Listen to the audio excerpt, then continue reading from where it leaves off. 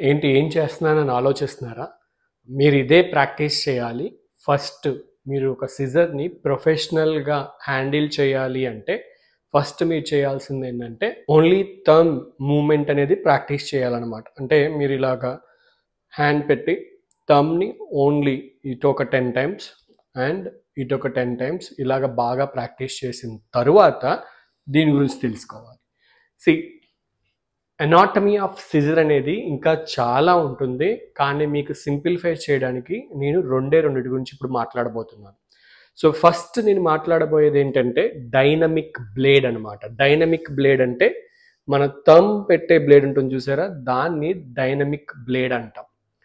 ఇంకొకటి static blade static blade అనేది ఇదనమాట అంటే ఫోర్ ఫింగర్స్ ఇలాగా త్రీ ఫింగర్స్ రెస్ట్లో ఉండి ఒక ఫింగర్ ఏమో ఇలా లోపల ఈ సిజర్ హ్యాండిల్లోకి వెళ్ళేదాన్ని స్టాటిక్ బ్లేడ్ అంటాం. ఇది డైనమిక్ బ్లేడ్ అనమాట దీనికి ఆ పేరు ఎందుకు వచ్చిందంటే ఇదే కదలాలి కాబట్టి. ఇప్పుడు అర్థమైంది ఆ exercise ఎందుకనేది? First one two three four five six seven eight nine ten మళ్ళీ ఇలా పెట్టి one two three four five six seven eight nine ten అలాగా మీరు ఖాళీగా ఉన్నప్పుడల్లా కూడా ప్రాక్టీస్ చేస్తూ ఉండండి. మీరు ఎక్కువ ఫోకస్ పెట్టవలసింది ఏంటంటే ఓన్లీ డైనమిక్ బ్లేడ్నే మూవ్ చేసేటట్టు స్టాటిక్ బ్లేడ్ అనేది అలానే స్టడీగా ఉండేటట్టు ఈ డైనమిక్ బ్లేడ్తో ఎందుకు కట్ చేయాలి అంటే దీని ప్రెషర్ బాగా స్ట్రాంగ్గా ఉంటుందన్నమాట. దీని ప్రెషర్ ఇలా స్ట్రాంగ్గా ఉండడం వల్ల మనం కట్ చేయబోయే హెయిర్ పర్ఫెక్ట్గా కట్ అవుతుంది.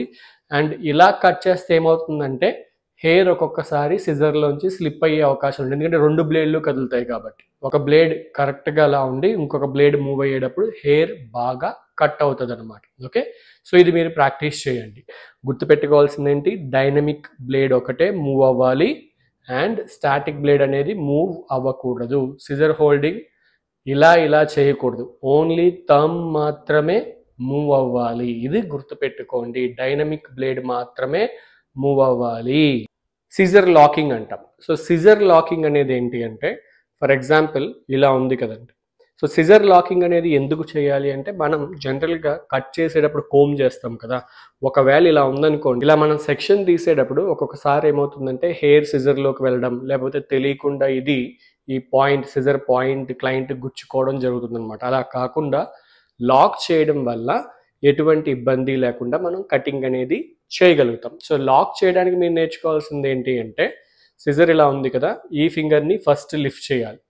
ఈ ఫింగర్ని లిఫ్ట్ చేసిన తర్వాత ఈ ఫింగర్ తోటి అంటే ఇండెక్స్ ఫింగర్ తోటి సిజర్ని పుష్ చేయాలి. పుష్ చేసినప్పుడు ring finger and small finger మధ్యలోకి సిజర్ అనేది వెళ్ళాలి. మళ్ళీ ఎలా అంటే ఇలాగా. సో ఇవి ఈ మూమెంట్ మీరు ఖాళీగా ఉన్నప్పుడల్లా కూడా ప్రాక్టీస్ చేస్తూ ఉంటే అప్పుడు ఆటోమేటిక్గా మీకు ఇది ఈజీ అవుతుందన్నమాట. చూడడానికి కట్ చేసేటప్పుడు ప్రొఫెషనల్గా ఉంటుంది. అలాగే క్లయింట్కి ఎటువంటి ఇబ్బంది లేకుండా సేఫ్గా మీరు కటింగ్ అనేది చేయగలుగుతారు.